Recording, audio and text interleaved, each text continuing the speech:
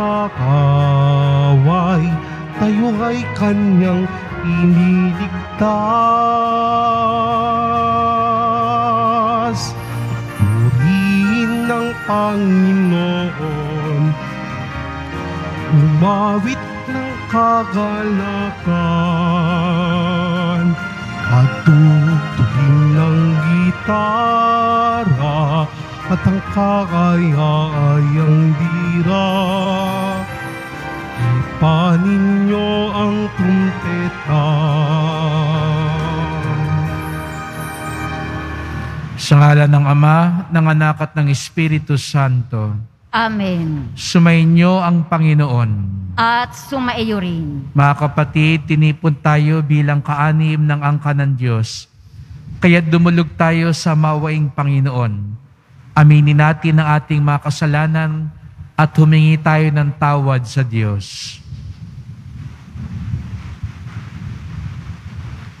Sinugong tagapagpagaling sa mga nagsisisi, Panginoon, kaawaan mo kami.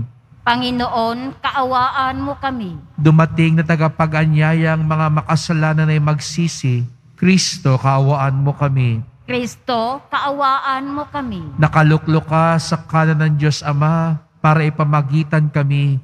Panginoon, kaawaan mo kami. Panginoon, kaawaan mo kami. Kawan tayo na makapangyarihan Diyos, patawarin tayo sa ating mga kasalanan, at patnubayan tayo sa buhay na walang hanggan. Amen. Manalangin tayo.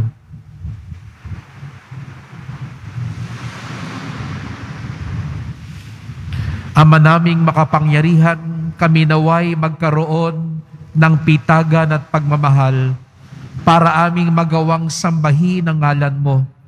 Sapagkat sa mga pinatatag sa iyong pag-ibig, ikaw ay walang pinababayaang masadlak sa ligalig.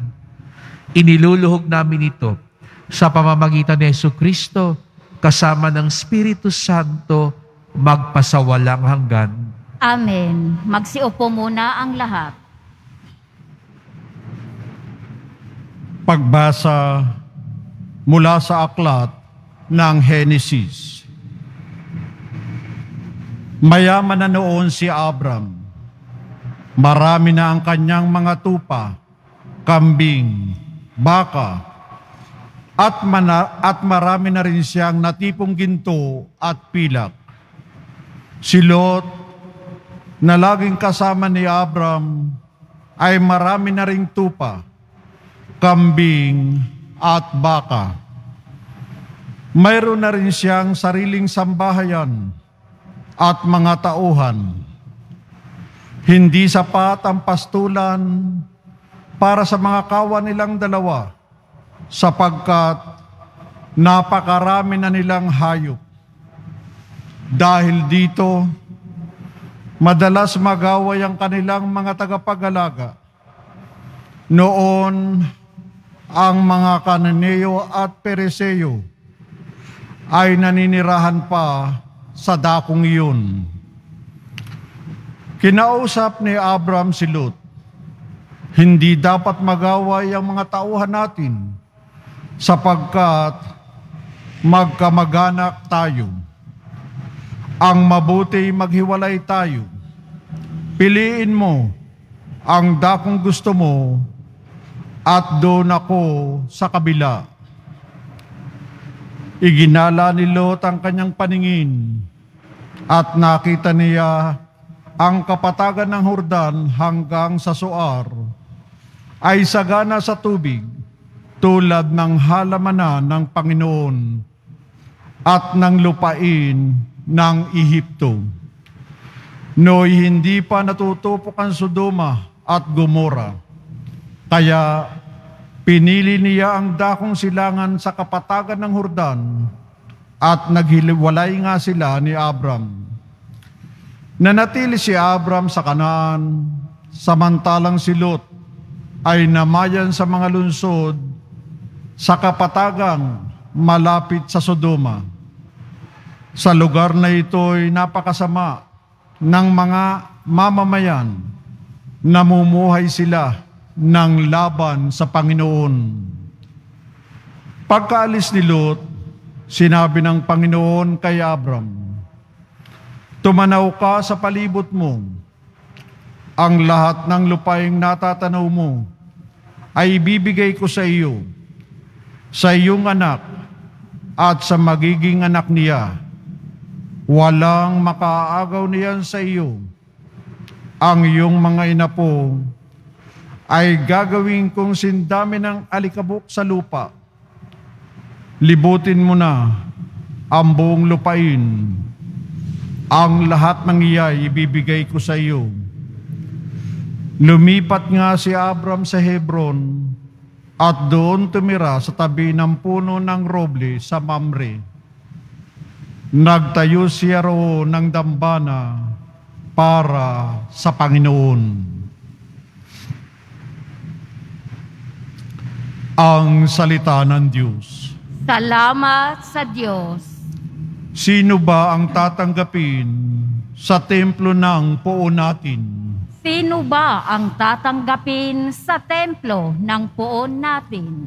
Yaong mga masunurin na sa iyo'y nakikinig at ang laging ginagaway na ayon sa matuwid. Kung mangusap ay totoo sa lahat at bawat saglit, yaong gawang paninira'y hindi niya naiisip. Sino ba ang tatanggapin sa templo ng poon natin? kailanman siya'y tapat makisama sa kapwa. Sa kaniyang kaibigay, wala siyang maling gawa. Hindi siya nagkakalat ng di tunay na balita at itinatampok niya ang matapat sa lumikha.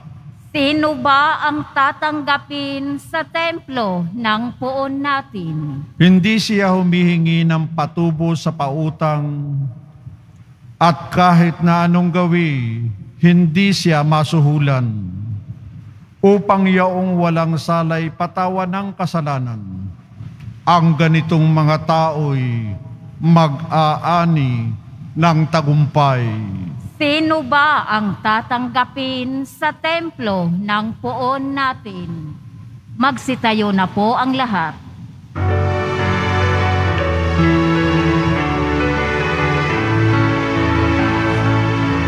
Ah, Hallelujah.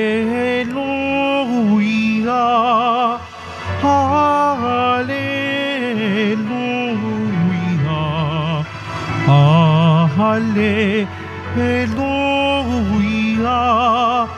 Hallelujah.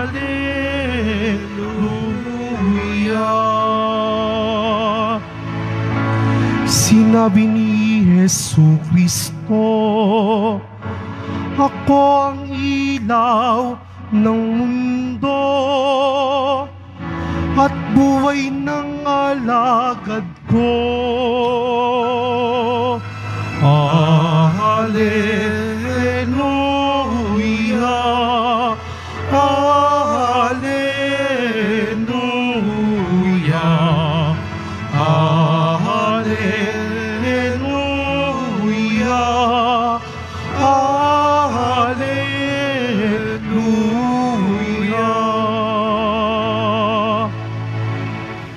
Sumainyo ang Panginoon.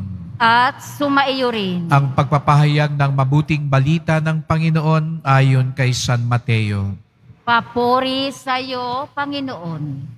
Noong panahong iyon, sinabi ni Jesus sa kanyang mga alagad, Huwag ninyong ibigay sa aso ang bagay na banal, sapagkat kayo'y babalingan at lalapain nila pagkatapos. Huwag ninyong ihagi sa baboy ang inyong mga perlas, sapagkat yuyurakan lamang nila ang mga iyon. Kaya gawin ninyo sa inyong kapwa ang ibig ninyong gawin nila sa inyo. Ito ang kahulugan ng kautusan ni Moises at ng turo ng mga propeta. Pumasok kayo sa makipot na pintuan, sapagkat maluwag ang pintuan at malapad ang daang patungo sa kapahamakan. At ito ang dinaraanan ng marami. Ngunit makipot ang pintuan at makitid ang daan patungo sa buhay, at kakaunti lang ang nakasusumpong niyon.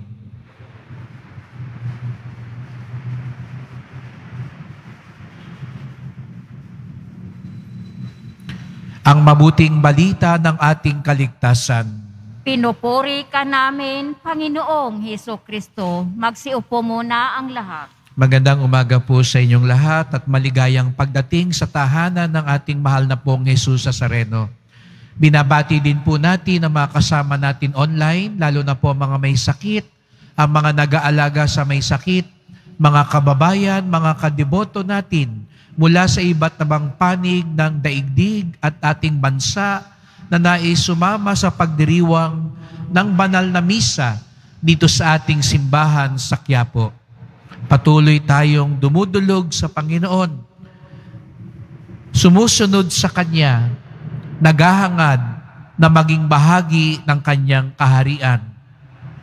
Kaisa din natin sa pasimula ng pagninilay na ito, ang ating ah, mga kapatid, mga kadeboto sa simbahan ng Baklaran, sa pagdiriwang din ng kanilang kapistahan, sa karangalan ng ating ina ng laging saklolo.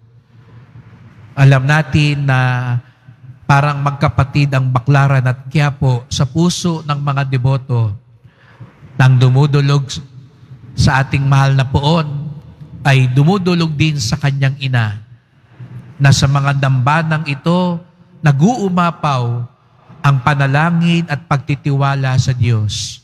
At ang panalangin at pagtitiwalang iyan kay Jesus at kay Maria ang siyang tumutulong sa atin upang lalong makasunod sa kalooban ng Diyos. Sa Ebanghelyo natin ngayon, may tatlong bilin si Jesus Nazareno na para bagang hindi magkakaugnay. Sinisikap kong ano ba yung pwedeng maging sinulid na magtahi sa kanilang tatlo upang mas simple ang ating pagninilay ngayong umaga. Pwede nating pagdugtungin ang mga ito sa diwa ng iba't ibang kalakaran. Sa unang bilin ni Jesus Nazareno, sabi niya, huwag niyong ibigay sa aso ang banal na bagay sapagkat kay babalingan at lalapain nila pagkatapos. Huwag niyong ihagi sa baboy ang inyong mga perlas sapagkat yuyurakan lamang nila ang mga iyon. Alam natin na dito ipinapakita ng Panginoon na sa hayop, hindi nila nauunawaan kung ano ang mahalaga. Pwede mong, lalo na yung mga mababanghis na hayop, pakainin mo sila, pero darating ang punto, lalapain ka rin nila, sasaktan ka rin nila, kalilimutan ka rin nila. Ang ganitong kalakaran, masabi natin ay makahayop, pero pakaingatan natin na hindi tayo umabot sa ganitong level na bagamat tinulungan ka, pinahalagahan ka, pinagmalasakitan ka, pero hindi mo ito binibigyang halaga. Hindi ka tumatanaw ng utang na loob. Hindi mo sinusuklian ang kabutihang loob. Sana po mga kapatid, huwag tayong umabot sa ganitong antas. Pakaingatan natin na ginawang ka ng mabuti, pero binaliwala mo ito. Masakit mang aminin, pero alam natin, nangyayari ito kahit sa mga tao. Nakalulungkot mang isipin, ito'y kalakaran ng mga hayop, ngunit pwede rin itong gayahin ng mga tao. Kaya ito yung unang biyaya na ipagdasal natin. Matuto nating pahalagahan ang dapat pahalagahan. Huwag tayong tumulad sa mga mababangis na hayop. Kaya minsan nakakalungkot po, naalala ko, pag dumadalaw ako sa tahanan ng mga pinabayaang mga matatanda na yung mga anak at apong inalagaan nila, iniwan sila, pinabayaan sila. Hindi ko makakalimutan yung isang pangyayari na kinuwento sa akin nung matanda. Sabi sa kanya raw nung anak niya, mamamasyal sila. Tapos dinala siya ron sa mga madre. At sinabi pa nga sa kanya, sandali lang, may kukunin kami. Babalikan ka namin. Pero magpahanggang ngayon, hindi siya binalikan ng sarili niyang anak. Kaya yung matandang pong yun, pag dumadalaw po ako doon sa tahanan, nakatingin siya lagi sa may bintana, sa may pintuan, dahil inaantay niya ang pagbabalik ng kanyang anak. Nakalulungkot, kaya tayo binabalaan ni Jesus sa Sareno, huwag tayong umabot sa ganong antas na hindi nagpapahalaga sa dapat pahalagahan. Ang ikalawang bili naman ni Jesus sa Sareno, ani mo'y umaangat yung antas. Gawin ninyo sa inyong kapwa ang ibig ninyong gawin nila sa inyo. Kung kanina ay parang kalakaran ng mga hayop, ngayon ay kalakaran ng tao. Aminin natin, anong gusto mong gawin sa iyo ng kapwa mo? Gusto mong unawain ka? Gusto mong pagbigyan ka? Gusto mong tanggapin ka? Aminin natin yon. Ngayon ang tanong, yung gusto mo ba sa sarili mo? Gusto mo rin sa kapwa mo? Halimbawa, kapag ikay naatraso, na late ka sa trabaho o sa usapan, hindi ho ba pag tayo na late, ang una nating sasabihin, Paku, pasensya na ha, ang traffic. At anong gusto mong gawin doon sa kausap mo? Anong gusto, gusto mong gawin niya? Patawarin ka agad. Unawain ka. Hindi po ba? Pero pag yung kausap mo ang naatraso, pagdating na pagdating, sinabi sa'yo, pasensya na ha. Na-late ako eh, matraffic. Anong sasagot mo? Alam mo namang matraffic eh, dapat inagahan mo. Pag sa atin, gusto natin unawain tayo. Pero pag sa iba na, pag sila na, medyo nagiging malupit na tayo. Aminin. Pag tayo'y nagkakamali, pasensya na ha. Tao lamang ako eh. Pero pag yung iba ang nagkamali sa'yo, anong sasabihin mo? Dapat pinag-iisipan mo yung mabuti. Dapat kasi hindi mo agad ginagawa yan. Dapat kasi nag-iingat ka. Kaya ang tanong, yun bang gusto nating gawin sa sarili natin? Ginagawa din natin sa iba? Sa katunayan, normal yun. Kalakaran ng tao yun. Gusto mong igalang ka? Igalang mo din ang iba. Gusto mong pagbigyan ka? Pagbigyan mo din ang iba.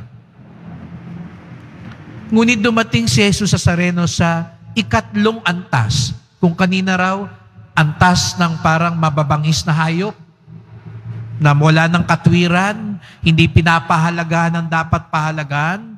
Ang antas ng tao, pilit na inuunawa, pero nga minsan hindi pa rin natin ito nauunawaan. Lalo tigit ang antas ng Diyos. At anong antas ng Diyos? Pumasok kayo sa makipot na pintuan. Ang normal na kalakaran ng tao, doon ka sa maluwag. Yung nga lang minsan dito sa Quiapo, alam natin, lalo na pag prosesyon, Walang makipot-makipot, walang maluwag-maluwag. Doon tayo kahit ano mangyari. Pero ang normal na pangunawa ng tao, doon tayo sa maluwag, huwag tayo sa masikip. Kaya nga minsan, dapat sa gitna dadaan, ay masikip dyan, dito na tayo sa gilid. Dito tayo sa likod, dumaan. Pero anong sabi ng Panginoon? Ang kalakaran ng Diyos, kadalasan kung ano yung mas mahirap. Aminin natin, yun ang kalakaran ng Diyos. Kung ano yung mas mahirap, kadalasan, yun ang tamang daan. Tingnan nyo lang ang ating mahal na pong Jesus sa Sareno. May dalang krus. Ano ho ang mas madali? May krus o wala? Sasabihin natin, mas madali, Father, yung walang krus. Pero mas pinili ni Jesus ang buhati ng krus. Mas mahirap, pero yun kasi ang daan para tayo maligtas. Ano yung mas madali? Matulog na lang sa bahay o magsimba ngayong umaga? Mas madali hong matulog. Mas mahirap po yung magsimba, lalo na dito sa Quiapo. Malayo. Nakakatakot, di ba kadelikado? Pero yon ang daan, ang kalakaran ng Diyos. Ano yung mas madali? Magalit o magpatawad? Mas madali yung magalit. Minsan nga parang nag enjoy tayo pag nagagalit pa nga tayo sa iba eh. Mas mahirap ang magpatawad. Pero yon ang daan ng Diyos. Kaya nga sa unang pagbasa, nang magpapartihan na si Abraham at si Lot, mas matanda si Abraham kay Lot. Pero ano sabi ni Abraham? Sige, mamili ka. Kung ano yung piliin mo, doon ako sa kabila.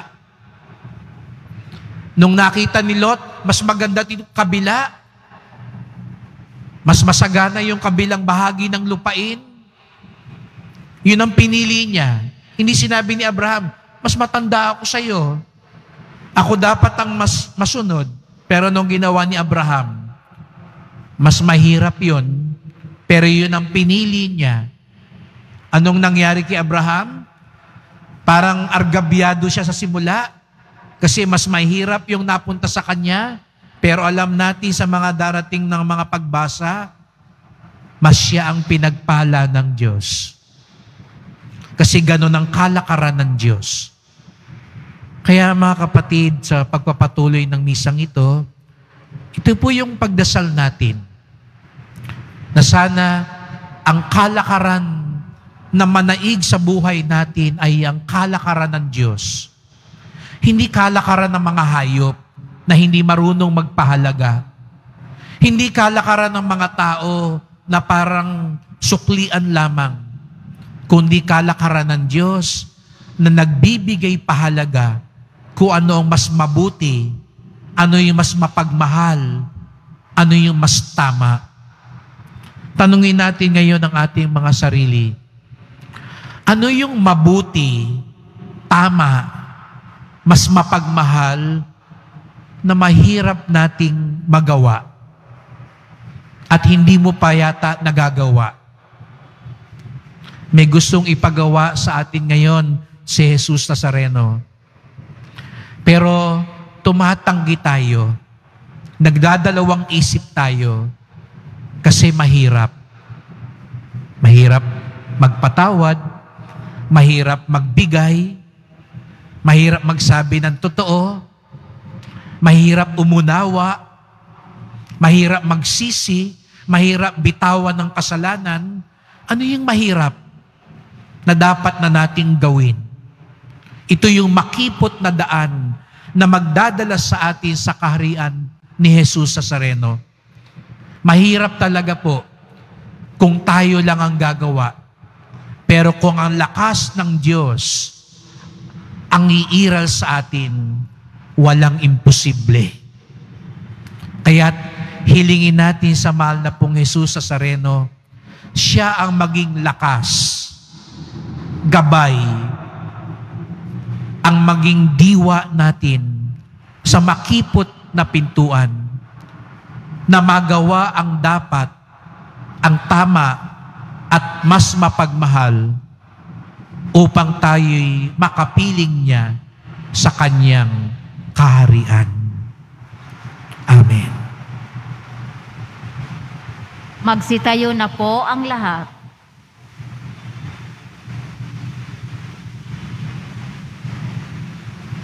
Minamahal ko mga kapatid, ipinangako sa atin ni Kristo na naghahatid sa buhay ang makipot na pintuan. Lumapit tayo sa amang nasa langit sa pamamagitan ng may pagtitiwala at pananalig sa panalangin itinuro sa atin ng Panginoon. Panginoon, buksan mo sa amin ang pinto ng biyaya. Panginoon, buksan mo sa amin ang pinto ng biyaya. Ang mga pinuno ng simbahan, naway gabayan ang kawang sumasampalataya sa pintuan na naghahatid sa buhay. Manalangin tayo. Panginoon, buksan mo sa amin ang pinto ng biyaya. Bilang komunidad, naway ituring natin ang bawat isa ng may paggalang, pangunawa at pagmamahal. Manalangin tayo. Panginoon, buksan mo sa amin ang pinto ng biyaya. sa pamamagitan ng mahabaging pakikitungo sa ating kapwa, naway maisagawa natin ang kalooban ng Diyos. Manalangin tayo. Panginoon, buksan mo sa amin ang pinto ng biyaya. Ang mga may sakit at yaw mga nagdurusa sa iba't ibang uri ng karamdaman, naway makatagpo ng lakas at kagalingan. Manalangin tayo. Panginoon, buksan mo sa amin ang pinto ng biyaya. ang mga tapat na yumao, naway buhaying muli ni Kristo. Manalangin tayo. Panginoon, buksan mo sa amin ang pinto ng biyaya. Tahimik nating idulog ay pa nating kahilingan.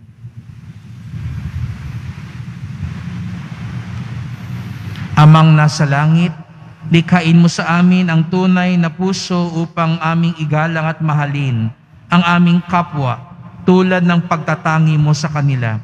Hiniling namin ito sa pamamagitan ni Kristong aming Panginoon. Amen. Magsiupo muna ang lahat.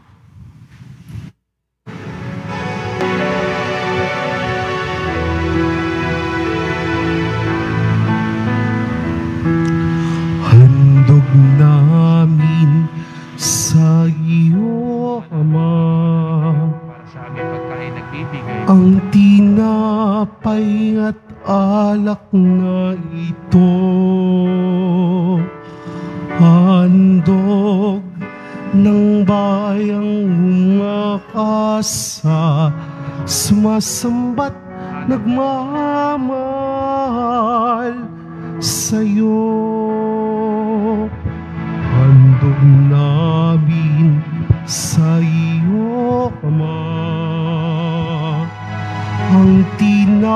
Tinapay at alak na ito. Handog ng bayang umakasa, sumasambat nagmamahal sa'yo. Magsitayo muna ang lahat. Manalangin kayo mga kapatid upang ating paghahain ay kalugdan ng Diyos amang makapangyarihan. Tanggapin nawa ng Panginoon itong paghahain sa iyong mga kamay. Sa kapurihan niya at karangalan sa ating kapakinabangan at sa buong sambayanan niyang banal. Ama naming lumikha, tanggapin mo ang aming paghahain ng papuri sa iyong kabutihan sa amin.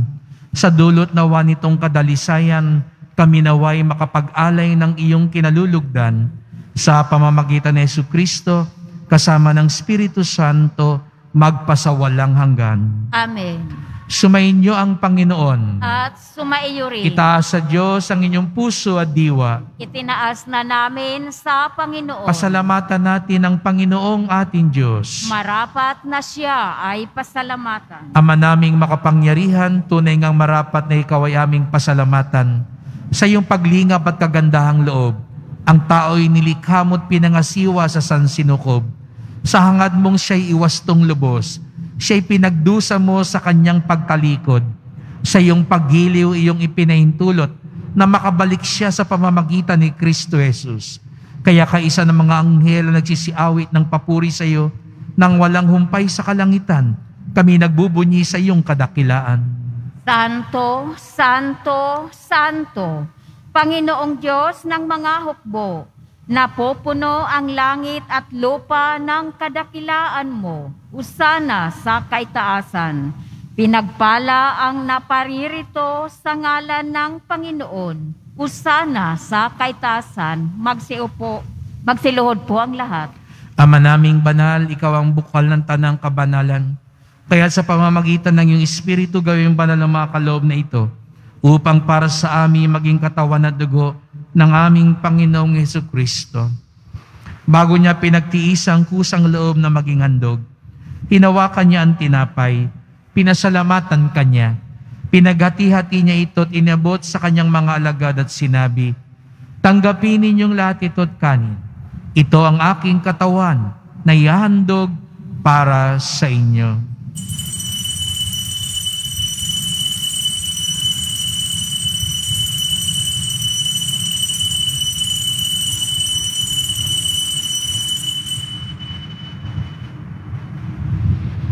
Gayon din naman ang matapos sa ngapunan, hinawakan niya ang kalis. Muli kanyang pinasalamatan. Iniabot niya ang kalis sa kanyang mga alagad at sinabi, Tanggapin ninyong lahat ito at inumin. Ito ang kalis ng aking dugo, ng bagot walang hanggang tipan. Ang aking dugo na ibubuhos para sa inyo at para sa lahat sa kapagpapatawad ng mga kasalanan. Gawin niyo ito sa pag-alaala sa akin.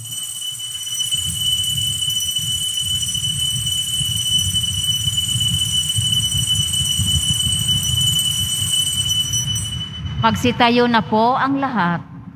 Ipagbunyi natin ang misteryo ng pananampalataya. Si Kristo'y namatay, si Kristo'y nabuhay, si Kristo'y babalik sa wakas ng panahon. Ama, ginagawa namin ngayon ang pag-alaala sa pagkamatay at muling pagkabuhay ng iyong anak.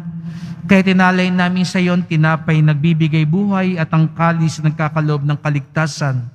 Kami nagpapasalamat dahil kami yung minarapat na tumayo sa harap mo para maglingkod sa iyo. Isinasamo namin kaming magsalo-salo sa katawan at dugo ni Kristo ay mabuklod sa pagkakaisa sa pamamagitan ng Espiritu Santo. Ama, lingapin mo ang iyong simbahang laganap sa buong daigdig. Puspusin mo kami sa pag-ibig kaysa ni Francisco na aming Papa, ni Jose na aming Obispo, at ng Tanang Kaparian. Alalahanin mo rin ang mga kapatid naming nahimlay na may pag-asang sila'y muling mabubuhay, gayon din ang lahat ng mga pumanaw. Kawan mo sila't patuloyin sa iyong kaliwanagan. Kawan pagindapating kaming lahat na makasalo sa iyong buhay na walang wakas. Kaisa ng mahal na Birheng Maria, Ina ng Diyos, ng kabiyak niyang pusong si San Jose, ni San Juan Bautista, at lahat ng mga banal na namuhay dito sa daigdig ng kalugod-dugod sa iyo. Maipagdiwang nawa namin ang pagpupuri sa ikararangal mo sa pamamagitan ng iyong anak na aming Panginoong Heso Kristo. Sa pamamagitan ni Kristo, kasama niya sa Kanya, ang lahat ng parangal at papuri ay sa iyo, Diyos amang makapangyarihan, kasama ng Espiritu Santo, magpasawalang hanggan. Amen. Sama-sama tayong tumawag sa ating Ama sa langit. Ama namin, sumasalangit ka. Sambahin ang ngalan mo. Mapasa amin ang kaharian mo. Sundin ang loob mo dito sa lupa para nang sa langit. Bigyan mo kami ngayon ng aming kakanin sa araw-araw at patawarin mo kami sa aming mga sala para ng pagpapatawad namin sa nagkakasala sa amin. At huwag mo kaming ipahintulot sa tukso at iadya mo kami sa lahat ng masama. Hinihiling nami kami adya sa lahat ng masama, pagkalooban ng kapayapaan araw-araw, iligtas sa kasalanan, ilayo sa lahat ng kapahamakan, samantalang aming pinananabikan ang dakilang araw ng pagpapahayag ng tagapagligtas naming si Heso Kristo. Sapagkat iyo ang kaharian at ang kapangyarihan at ang kapurihan magpakailanman. Amen. O Panginoong Heso Kristo, sinabi mo sa iyong mga apostol at ngayon sinasabi mo sa amin, kapayapaan ang iniiwan ko sa inyo, ang aking kapayapaan ay binibigay ko sa inyo. Tunghayan niyo pong aming pananampalataya, huwag pong aming mga kasalanan.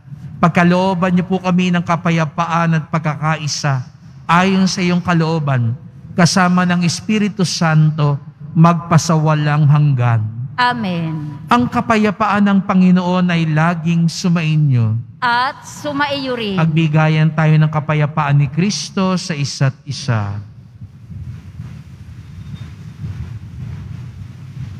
Kordero ng Diyos na nag-aalis ng mga kasalanan ng sanlibutan, maawa ka sa amin. Kordero ng Diyos na nag-aalis ng mga kasalanan ng sanlibutan, maawa ka sa amin. Kordero ng Diyos na nag-aalis ng mga kasalanan ng sanlibutan, ipagkaloob mo sa amin ang kapayapaan. Magsiluhod po ang lahat. Narito ang ating Panginoong Kristo, ang kordero ng Diyos na nag-aalis ng mga kasalanan ng sanlibutan. Mapapalad ang inaanyayahan sa kanyang piging. Panginoon, hindi ako karapat-dapat na magpatuloy sa iyo. Ngunit sa isang salita mo lamang ay gagaling na ako.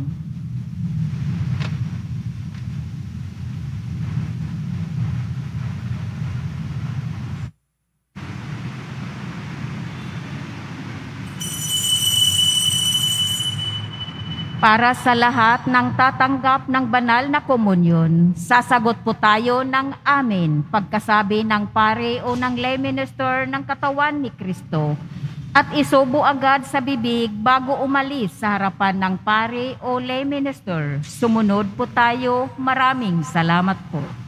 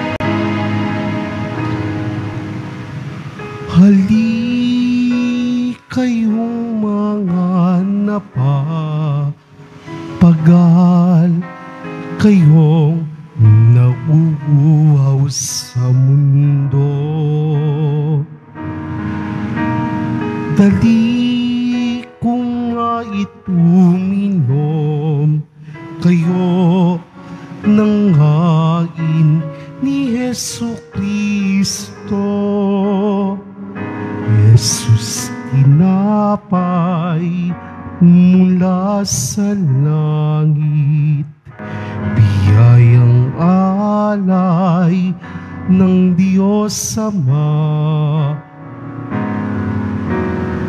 Pagkain nagbibigay buhay, kunin at pagsalungan. Hali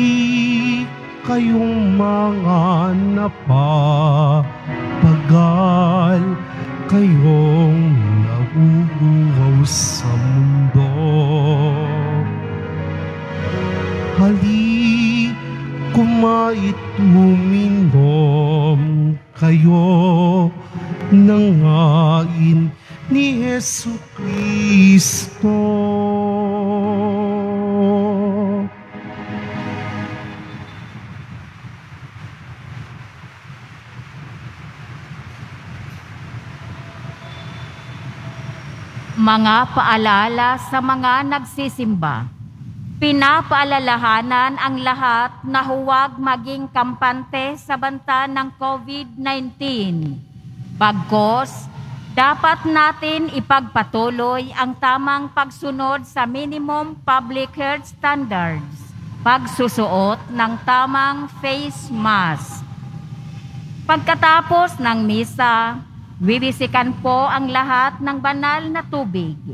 Pinakikiusapan ang lahat na manatili lamang muna sa inyong mga lugar. Tanging sa Quezon Boulevard o sa Plaza San Juan lamang ang labasan ng lahat. Sumunod po tayo. Maraming salamat po sa inyong pagdalaw at pagsisimba sa Basilica Minor ng Itim na Nazareno.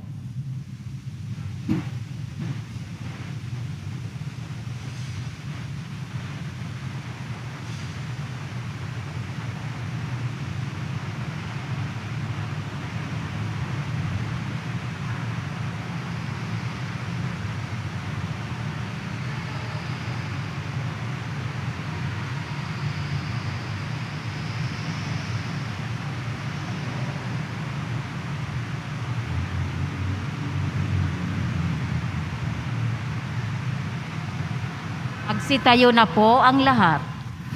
Manalangin tayo. Ama naming mapagmahal, kaming nakinabang sa katawan at dugo ng iyong anak, ay sumasamo sa iyong habag upang ang aming taimtim na ginanap ay maging pagtanggap namin sa tiyak mong pagdiligtas sa pamamagitan ni Yesu Kristo kasama ng Espiritu Santo magpasawalang hanggan. Amen. Maraming salamat po sa inyong pagpunta dito sa Quiapo, sa inyong tulong sa ating simbahan, sa inyong mga pamisa, love offerings, online donations, sa mga nagdadala po dito ng bigas, delata, noodles at iba pang pang-ayuda sa ating mga kapatid na nangangailangan at nasalanta. Ang ating debosyon sa poong Nazareno ay nagtuturo sa ating magmalasakit at tumulong sa ating kapwa. Ang daan ni Jesus ay patungo sa mas mabuti, mas tama, at mas mapagmahal. Ito ay mahirap kung aasa lang tayo sa sarili nating lakas. Hayaan nating tulungan tayo ni Jesus Nazareno magampanan ang landas patungo sa kanyang kaharian. Sumainyo ang Panginoon. At sumaiyo rin. Mahal na pong Jesus Nazareno. Inihayag mo sa pamamagitan ng krus ang walang maliw na pag-ibig ng Diyos sa sangkatauhan. Pakinggan mo ang kahilingan ng iyong angka na nagsusumamo sa iyo. Makamtanawan nilang iyong katugunan at tanggapin ang kasagutan ng may utang na loob na tinatanaw. Basbasan din po ninyo ang dala nilang mga imahin at dasalan sa pamamagitan ng bendisyon na ito. Naway maalala nila mga pangako nila noon sa binyag na ikaw ang kanilang iibigan at paglilingkuran bilang Panginoon, magpasawalang hanggan.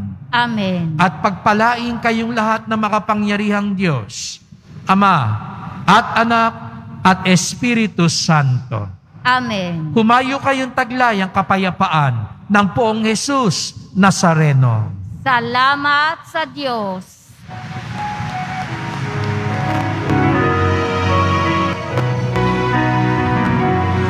Nuestro Padre Jesus Nazareno, sinasamba ka namin. Pinipinto ka namin. Aral mo ang aming buhay at kaligtasan.